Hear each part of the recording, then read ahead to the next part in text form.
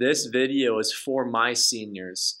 This is an open letter to all seniors and students who are missing out on this year, 2020. This is a harsh time for all of us, especially you. You don't deserve this.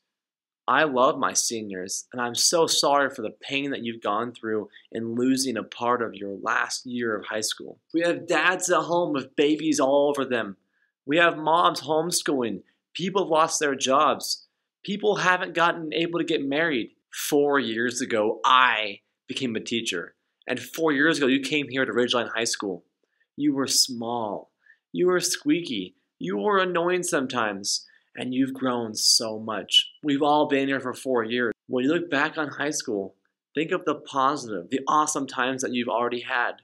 Imagine living in 1918 when school was dismissed. There was social distancing, and guess what? We didn't have social media. We didn't have technology. That would suck! You guys live in a great time where we can be as one. I graduated 11 years ago. In high school, I started dating the girl who I married one day. I met my best friends. I learned that I love school. I learned I love school so much, I wanted to come back and be a teacher the rest of my life. Here is my high school picture. You can see I have aged so much in the last 11 years. When I was in school, we wanted a good senior skip day. You guys have the ultimate senior skip day. School isn't over. After I graduated, I had eight years of schooling to a master's degree. You guys will be in school for a long time. Could be good, could be bad. I'm not sure. It depends if you like school or not. When all this is over, I want to give each of you a big hug and say, I care about you. I have enjoyed being your teacher. I want us to come to the football field as class of 2020 in a big circle, arms on each other's shoulders, and we're going to sing our, our school cheers. We're going to sing our school song. We're going to be together again we're going to have the end of 2020. I want you to write down what you miss right now in a letter. There's a few things. For example, I miss walking outside and seeing somebody. I don't see anybody outside anymore.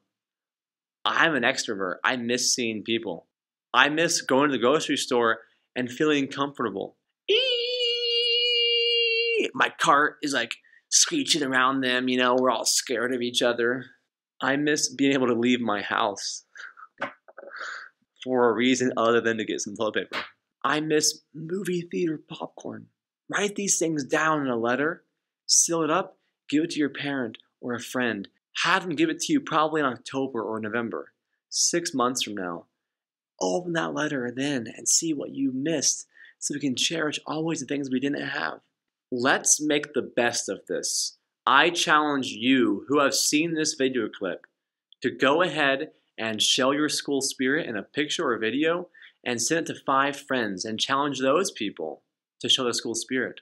Let's have everybody go ahead and show that we are still a part of this school. We still are Ridgeline. You are Ridgeline. Know that I care about you. This is hard for me to be in a classroom of no students. It makes me pretty sad not to be able to see you guys again in the classroom setting, not to be able to jump on your desk again and get excited. All we can do is remember the good times. You'll get stronger after this event. I'm proud of you. Don't ruin a good today by thinking of a bad yesterday. Live in the freaking moment. I love you guys. Choose.